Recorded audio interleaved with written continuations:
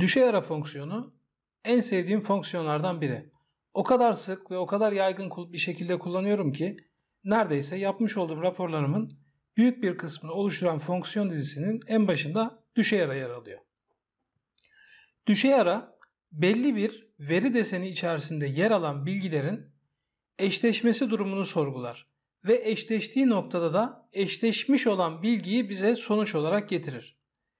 Mesela şu an önümde bir örnek var ve düşey aranın en yaygın kullanımı da bu örnekteki gibi.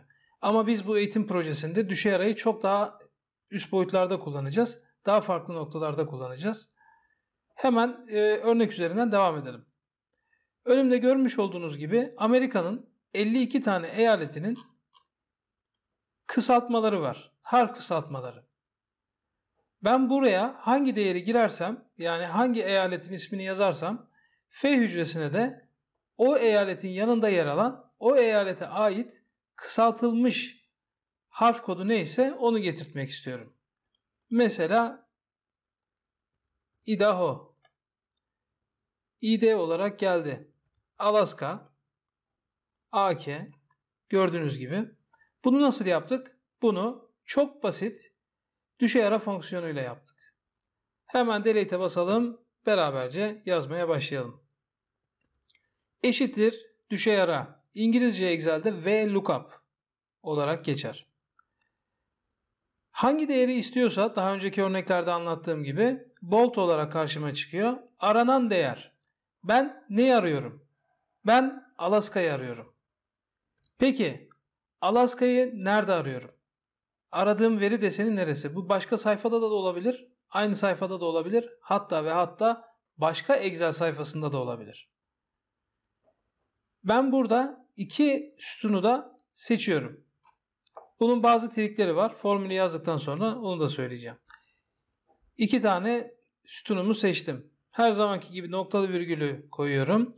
Şimdi bu seçmiş olduğum tabloda Alaska değerinin yer aldığı sütun kaçıncı sütun? Birinci sütun. Peki benim getirmek istediğim bilgi kaçıncı sütunda? Ben bunlardan kısaltmalardan bir bilgi getirmek istiyorum. Dolayısıyla ikinci sütunda. Ve ben de sütun indis sayısı yazan yere 2 yazmak durumundayım.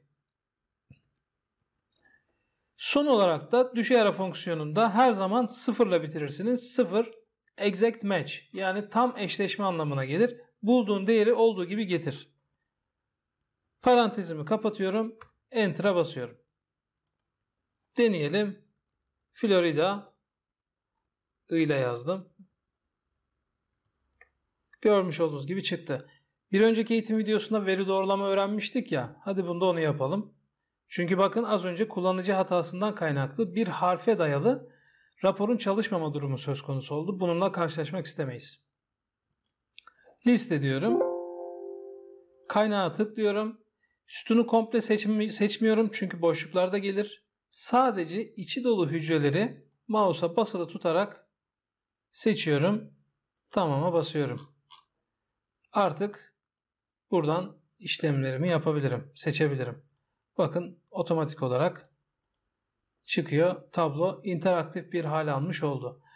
Düşey ara yaparken her zaman aramış olduğunuz değeriniz yani bu örnekte sarı renkli olan hücre aramış olduğunuz değer aramış olduğunuz veri aralığında birinci sütunda yer almalı.